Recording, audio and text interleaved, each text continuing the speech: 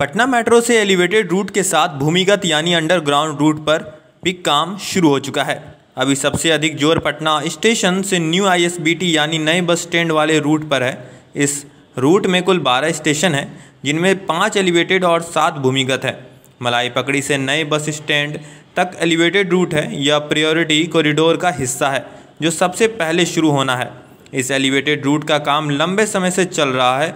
वही राजेंद्र नगर से आकाशवाणी तक भूमिगत रूट का शिलान्यास हो चुका है और अब यह काम भी तेज़ी से पूरा करने का लक्ष्य है। पटना मेट्रो के रूट प्लान के अनुसार दानापुर से पटना जंक्शन तक कॉरिडोर एक और पटना जंक्शन से न्यू आईएसबीटी तक कॉरिडोर दो है।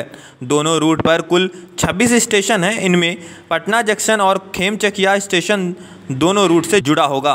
यानी इन दोनों स्टेशनों से मेट्रो यात्री एक रूट से दूसरे दूसरे रूट का मेट्रो बदल सकेंगे।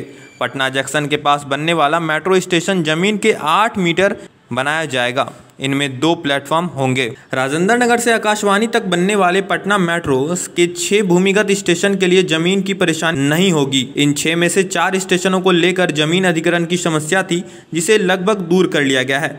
गांधी मैदान और राजेंद्र नगर में मेट्रो स्टेशन निर्माण के लिए पर्याप्त ज़मीन उपलब्ध है। पीएमसीएच विश्वविद्यालय और मोहिनुलक स्टेडियम के पास बनने वाले मेट्रो स्टेशन का निर्माण संबंधित स्थान परिसर में ही होगा। वही फ्रेजर रोड में आकाशवाणी स्टेशन के लिए आकाशवाणी और एलआईसी की करीब एक हज़ार पाँच सौ चौहत्तर वर्ग मीटर ज़मीन ली जाएगी। इसको लेकर केंद्र व राज्य के स्तर पर बातचीत हो गई है।